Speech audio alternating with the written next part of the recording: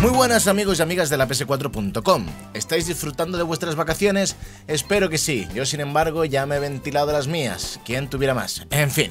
Ya se avecina la Gamescom y precisamente por eso hoy no vamos a hablar de ella. Hoy quiero ofrecer el protagonismo a nuestros secundarios favoritos.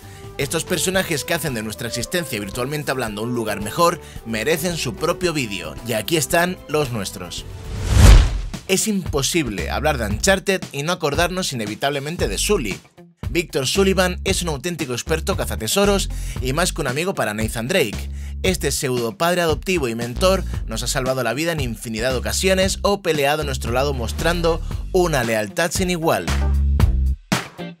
No podemos concebir la saga sin la existencia de Sully, pero tampoco podemos olvidar a Lena Fisher, otro pilar fundamental de la franquicia. La idílica pareja Fisher-Drake ha traído auténticos momentos de pura magia a toda Uncharted, como ya hemos podido ver a lo largo de todas las entregas. Lo que ha tenido que aguantar la reportera. Madre mía, no debe ser fácil vivir con alguien como Nathan Drake. Cyrilla, Fiona, Ellen, Rhiannon o más conocida como Siri, no podía faltar a esta lista de secundarios favoritos. Desde pequeña, la princesa de Cintra mantiene una estrecha relación con Geralt de Rivia, una suerte de padre adoptivo que le enseña un oficio entre otras cosas.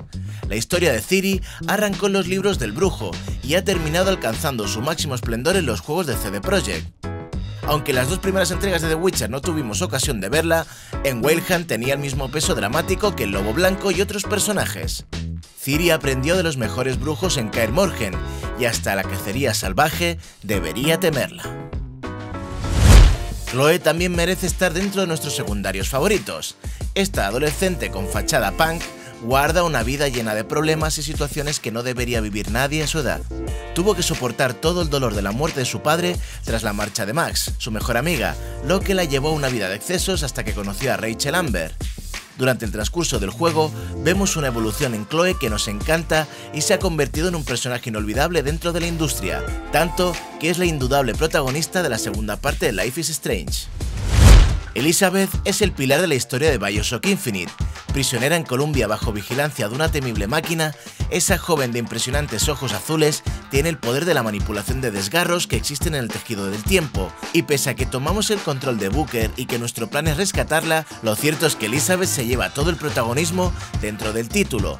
Un personaje muy bien construido y con una serie de habilidades que le quitarán el hipo a más de uno sin lugar a dudas se convirtió en uno de los personajes más polémicos paridos por la mente de Hideo Kojima, y es que su nulo vestuario desencajó alguna que otra mandíbula.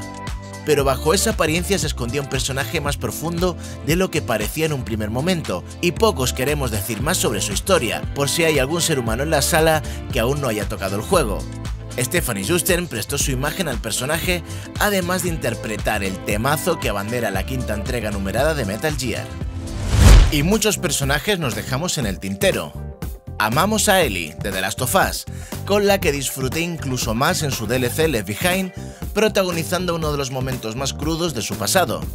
También de Naughty Dog de Lost Legacy, donde Chloe Fraser y Nadine Ross, personajes con mucho que decir, llegan para protagonizar su propio spin-off lejos de la sombra de Nathan Drake.